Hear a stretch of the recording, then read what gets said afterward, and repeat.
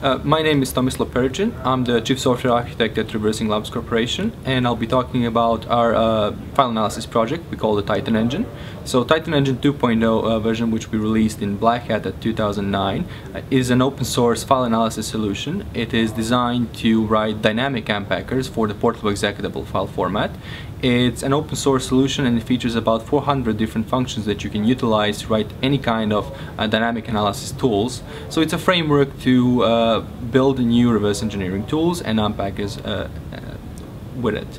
Uh, so the latest version we're uh, we're releasing, uh, the TitanEngine 3.0, is a static file analysis solution. So it's a supplement to the uh, previously uh, released version and uh, with it uh, we set out to solve multiple problems. So last year, 2011, at Black Hat uh, in Las Vegas as well, uh, we talked about various problems which come from analyzing portable executables. So we demonstrated various ways for users, for malicious users to create malformations in, in portable executable file format and those malformations can be used to evade antivirus detection.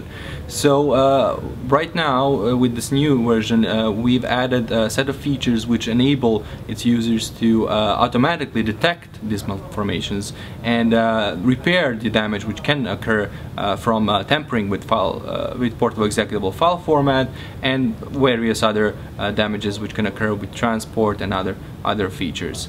so this new version of TitanEngine is going to enable its users to write static uh, file analysis tools and uh, it comes with a various set of functions which enable you to parse portable executable data content and build new portable executable files on the fly.